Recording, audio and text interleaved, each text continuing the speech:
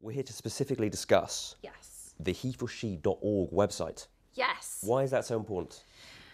Well, it's important because we want to be the first and largest uh, crowdsourcing tool for solutions to gender equality.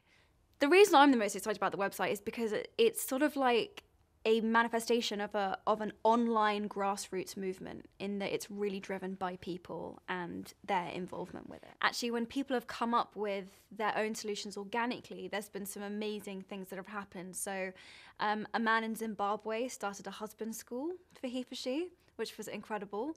Um, we've had one of our she champions, the president of Malawi, just annulled 300 child bride marriages and sent the girls back to school, which was unbelievable.